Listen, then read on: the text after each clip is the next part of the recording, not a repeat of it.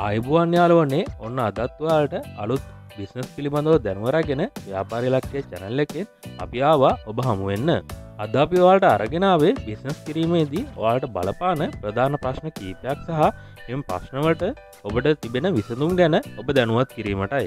Business ගත්තොත් මේ කාලය කියන්නේ සමාර බිස්නස් වලට බොහොම අමාරු කාලයක්. නමුත් සමහර බිස්නස් වලට හොඳ කාලයක්. අපි මේ කාලවලට ගැලපෙන බිස්නස් පිළිබඳ වීඩියෝ ගොඩක් අපේ චැනල්ල එකෙන් අරගෙන ඇවිත් තියෙනවා. වාඩ පුළුවන් අපේ චැනල්ල එකට ගිහිල්ලා එම වීඩියෝ බල්ලා වලගේ දැනුම අලුත් කරගන්න. හොඳයි දැන්න අපි බලමු බිස්නස් වලට බලපාන්න ගැටලු සහ විසඳුම් මොනවාද කියලා. එක ආරම්භ කිරීමට විශාල ප්‍රාග්ධනයක් වැැවීම. බිස්නස් එකක් පටන්ගන්න නම් විශාල ප්‍රාග්ධනයක් අවශ්‍ය වෙනවා. මේ නිසා තමයි ගොඩක් දෙනෙක් බිස්නස් ආරම්භ කිරීමට ඕමනාව තිබුණත් පටන්ගන්නේ නැත්තේ. හීන ගොඩක් තිබුණොත් මුදල් නොමැතිකම නිසා එම හීන අමතක් කරලා නිකං ඉන්නවා. වාල්ට පුළුවන් ඕනම් බිස්නස එකක් පටන්ගන්න පොඩිවට. ඉන් පසුව ටිකෙන් ටික දියුණු කරගෙන යන්න පුළුවන්. ගොඩක් විස්නස් ගත්තොත් එයාලා ආරම්භ කරලා තියෙන්නේ පොඩිවට. ටිකෙන් ටික තමයි මහා පරිමාණ ව්‍යාපාර බවට පත් කරලා තියෙන්නේ.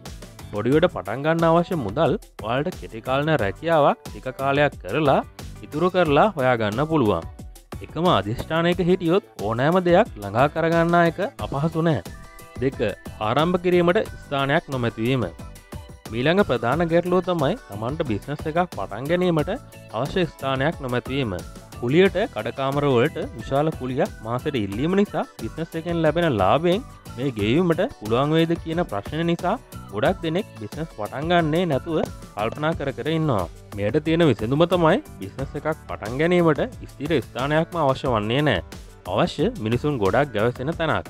වාට පුළුවන් මූලිකව ඔයාගේ බිස්නස් එක සතිපුරවල් නගරාසන්න ස්ථානයක විශාල පිරිසක් ගැවසෙන පාරක් අසල මේ වගේ එලිමාන් තැනක ඔබගේ බිස්නස් එක මූලිකව පටන්ගන්න පසුව දියුණු කරගෙන යන්න පුළුවන්. සාර්ථකත්වය තියෙන්නේ ඔබගේ කැපයුම් මතයි. ඕනෑම දෙයක් දිගුකාලිනව කරගෙන යන්න මුදල් ඉතුරු කරගන්න ඒ වගේම ආයෝජනය කරන්න.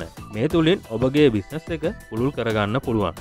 තුන නිසි ලාභයක් නොමැතිවීම. තවත් බිස්නස්වලට බලපාන්න ගැටලුවත් තමයි හරියාකාර ලාභයක් ලැබෙන්නේ නෑ බිස්නස් එකක් පටන්ගත්තත් මේ නිසා ගොඩක් අය අතර මඟ බිස්නස් නවත්තලා දානවා. මේට තියෙන විසඳුව තමයි අලුත් දේවල් වලට හැඩගැසීම.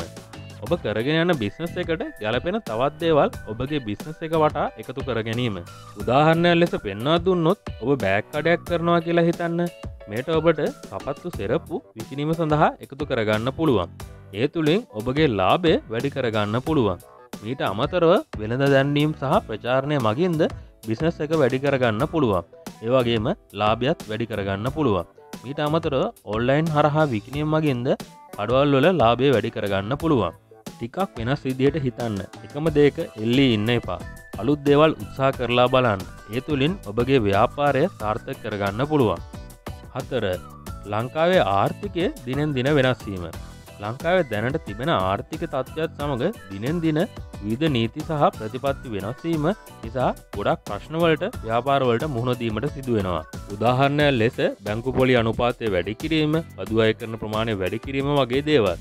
ඉතින් මෙවැනි ඇතිවන ප්‍රශ්නවලට විසඳුම් ලෙස දවසගානේ රජයේ ප්‍රතිපත්ති වෙනස්වීම් දැනුවත්වීම සහ ඔබේගේ ව්‍යාපාරය ඒට අනුව හැඩගස්වා ගැනීම බාණ්ඩෝල මිල සහ වියදම් ගණනය කර මිල තීරණය කිරීම සහ නව තාක්ෂණය භාවිතා කිරීම වගේ දේවල් කිරීම් මගින් ඔබගේ ව්‍යාපාට සිදුවන හානිය අවම කරගෙන ව්‍යාපාර දිගටම පවත්තාගෙන යන්න පුළුවන්. පහ බිස්නස් පිළිබඳව නිසි දැනුමක් නොමැත්වීම.